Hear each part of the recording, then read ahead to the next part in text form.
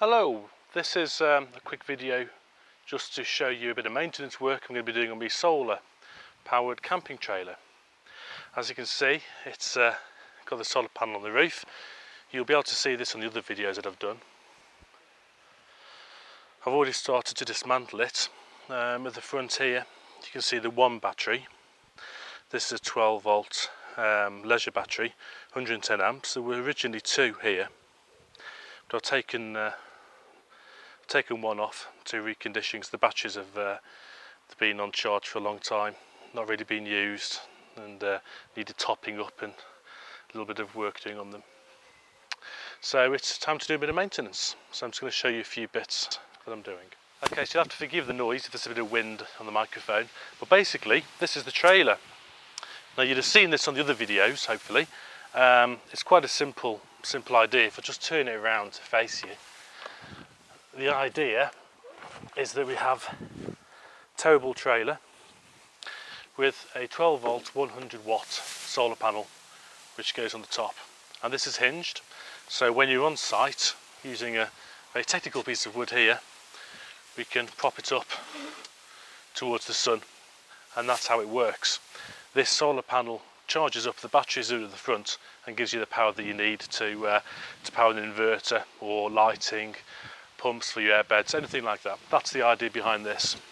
What I found is though that I've not really used this much this year so far and having the batteries connected constantly and the solar panel which is a bit dirty, having this constantly connected it's uh, it's kind of kept the batteries boiling away uh, done a bit of damage to them so I've reviewed the batteries that I'm using um, I can I can repair the batteries, that's not much of a problem, but I don't think I need two. A 220 amp hour battery, which is the 210s combined in parallel.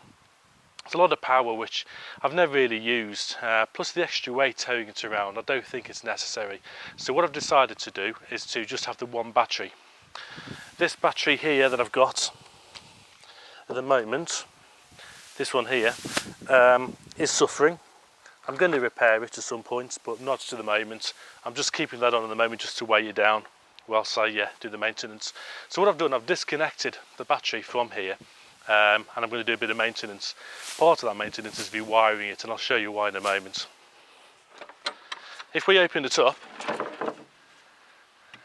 again, all very technical, more bits of wood popping it up. Inside, we've got all the main control gears. So a closer look then inside, the first thing you're going to notice is the main solar controller. This solar controller um, is the main sort of brains behind it all. This is quite a sophisticated one in that it actually monitors using a little thermometer in here, the temperature, because depending on the temperature will depend on the type of charge and the current and uh, such like the, uh, the battery will receive. So this is going to monitor the power. You can change these settings so you can have a maximum charge rate um, and you can constantly monitor the voltage and the currents going in and the current going out.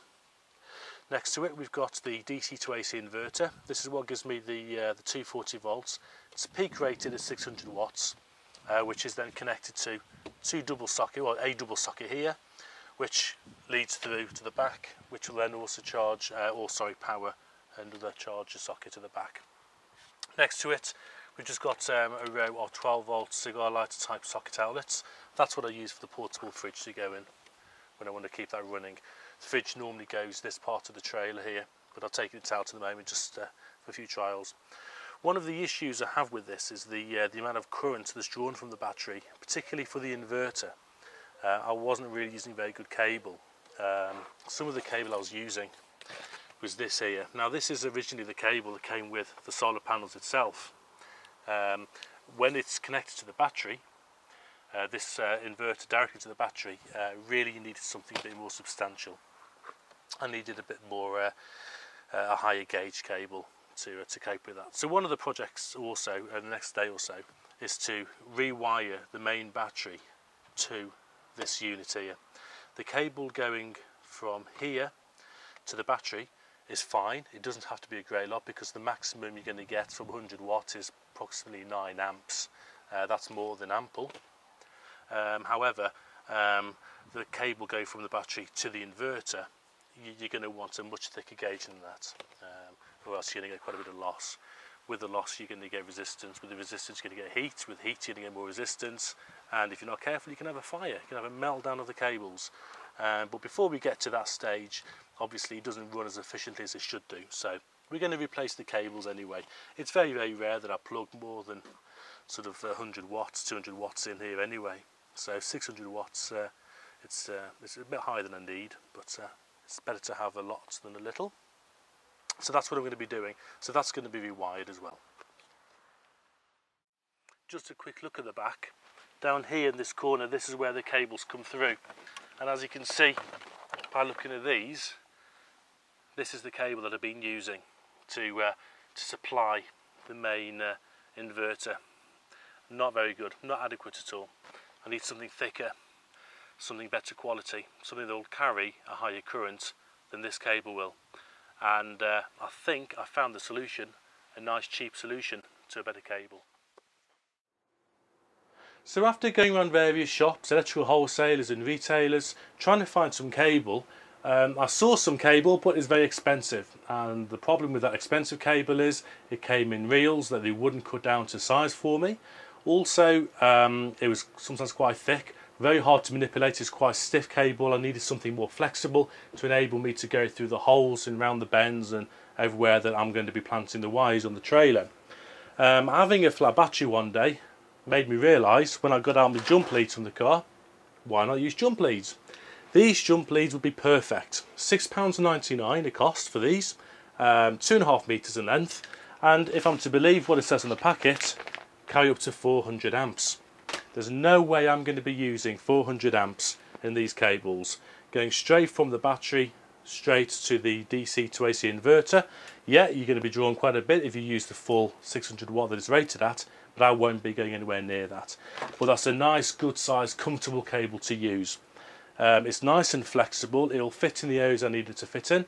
Um, absolutely perfect. So that's going to be the next project. Just got to cut off these clips, wire them in, and that's going to do the job nicely. The next issue was the battery. Now, the battery that I've been using, I've been using two. Um, they're 12 volts, they're like marine battery, leisure batteries, um, rated at 110 amp hours each. Two of those batteries wired in parallel still gives you 12 volts DC, but it doubles the amount of current, which would give you up to 220 amp hour.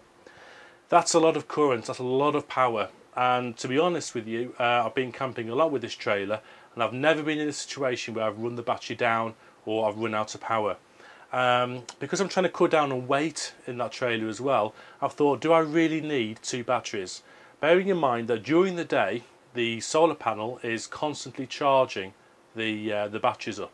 So you know do I need to store that much power? During the day um, if anything's going to be plugged in it's going to be the fridge. Well the fridge is only a 40 watt um, uh, fridge. Um, so if you've got full sun capacity that's going to be giving you 100 watts from the panel. Uh, you're still going to be charging the battery uh, as well as having enough power there to power the fridge. So I've decided let's do away with one of the batteries. Let's just have one battery. Uh, it gives me greater greater uh, uh, weight to play with in the trailer, um, and it should be a little bit easier to wire it as well with uh, with less connections. So the battery was the next thing I needed to look at. Now, one thing I noticed was that because the trailer um, is constantly outside, I don't have a cover on the panel, so the panel is always giving me electricity going through the um, charge controller and going straight to the battery. Now after a while, once the batteries are charged, it just float charges. But even keeping a battery on float charge isn't necessarily a good thing to do because after a while it virtually boils the water um, away out of the, uh, the cells. So what I've had to do is to try and bring the battery back to life. It wasn't holding a charge um, and it wasn't even charging properly. He was telling me that on the little LED indicators. So I had to do with the maintenance work. I'm not going to do a video on how to restore or how to do maintenance on a battery because to be honest I've, I've already done that now anyway. But there's a lot of videos out there so if you want to know how to maintain and just top up a battery have a look at videos on YouTube, there's plenty of them. However, it's as simple as getting yourself some battery top-up water. Now, battery top-up water is purely pure water. That's all it is. It's effectively distilled water.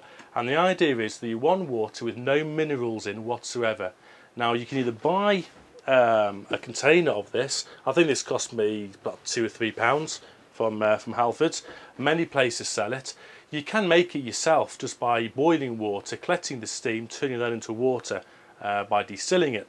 Um, I didn't have the time, the patience to do that. So I just went out and bought some for a couple of quid. Why not? It's easier, saves a lot of time. The other thing is you need decent funnel and a measuring jug. Bought those, I've got them now, so next time I want to do my other batteries, I've got the stuff ready. Let's have a look at the battery now. So here we are. This is the battery that I've been using. This is the battery that I've done the maintenance work on and managed to bring up to scratch. Now, on the top, you've got the, uh, the little screw terminals that take you straight through to the cells. Each cell is 2 volts. So altogether, 2, 4, 6, 8, 10, 12. That's your 12 volt battery there. Once these have been topped up, put the lids back on, make sure you got the water up to the correct measure, then you're ready to charge. Now it takes, I've noticed probably about three or four decent charges to get the battery up to scratch. I'm now at the stage now where I've charged it overnight for a couple of days, uh, run it down, never go past uh, 10 volts. When you're draining a battery, you don't ever go past 10 volts because anything beyond that you could do a bit more damage. So I make sure I monitor it constantly. At the moment I'm on 13.24 volts.